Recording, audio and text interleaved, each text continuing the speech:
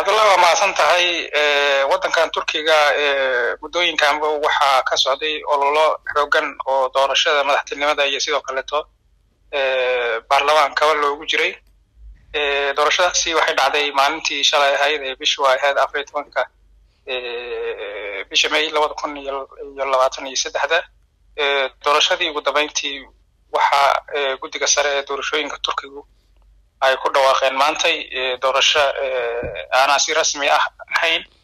Dabcan doorashadana cidna kuma guuleysan oo dabcan xisbiyadii iyo murashaxiintii ku tartamayey madaxtinimada cidna kuma guuleysan marka waxaa lagu qasban yahay in mar labaad lagu noqdo oo labaatan sideedda bishan mar labaad doorasho madaxtinimada waddanka ay dhacdo.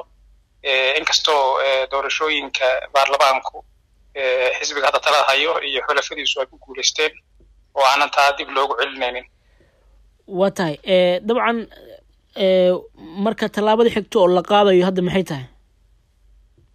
Tallaabada xigto dabcan guddigu maalmaha aynu soo aadan doorashada natiijada ka dhalatay ee rasmiga ayay ku dhawaaqayaan sida jadwalka doorashooyinka ee turkiga uu qorayane waxa waaye in laba isbuuc gudahood doorashadu ay ku dhacdo oo doorashada tan xigtaayo waxay dhici doontaa sideed iyo labaatanka bishan kabacdi waxa ku tartamaya laba murashax oo keliya oo ah labada murashax ee ugu codadka badan oo ah madaxweynaha hadda talada haya rajab tayyib erdogan iyo sidoo kaleeto ururka mucaaradka ama xisbiyada mucaaradka in hogaaminaya loo yaqaano kamaal kilistarol waa tahay dabcan waxaa noo sheegtay in aqlabiyadda baarlamaanka uu haysto madaxweynaha turkiga hadda haya talada dabcan taasi ma u dhoweyneysaa inuu ku guuleysto mar kale inuu hogaamiyo dalkaas?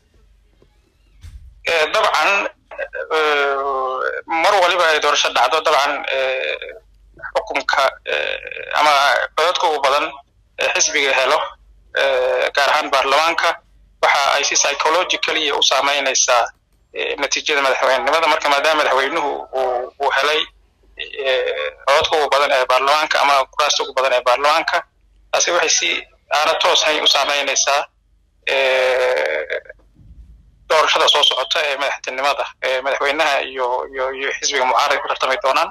Dabcan madaxweynaha erdogan inuu guuleysto maanta doorashada hadda ku guuleysto wax yar ayaa uga dhinaa marka doorashada xigta waxaa loo saadaalinayaa inuu isugu guuleysto maadaama tiro aad u yar ay uga dhineeday inuu ku guuleysto doorashadan waxaa jira marka murashax kaleetood codad boqolkiiba shan qiyaastii ah haysta oo dabcan noqonaya codadka go'aamin doona doorashadaasi.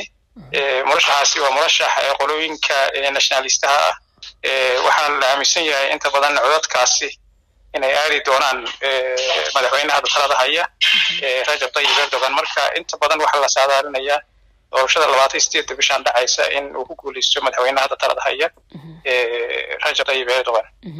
Waa ta doorashadan dabcan waxay ahayd mid aada uga duwan doorashooyinkii hore dalka u soo maray dadkuna aaday u hadalhayeen saameyn badanna way abuurtay. Dabcan taariikhda dalka turkiga doorasho noocan oo kale ah hore ma u soo martay oo oo keenta natiijo barbardhaca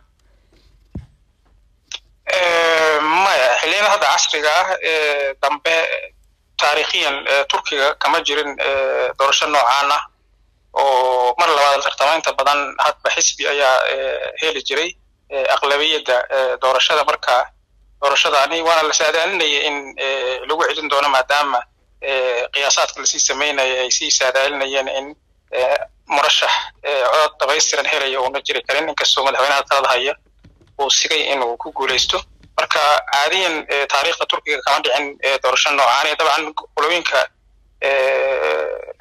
mucaaradkune waa dadaal badan ay muujiyeen.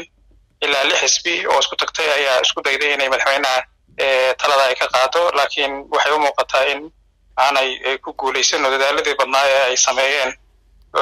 Weli u muuqato in madaxweynaha talada haya ay weli guuleysan doono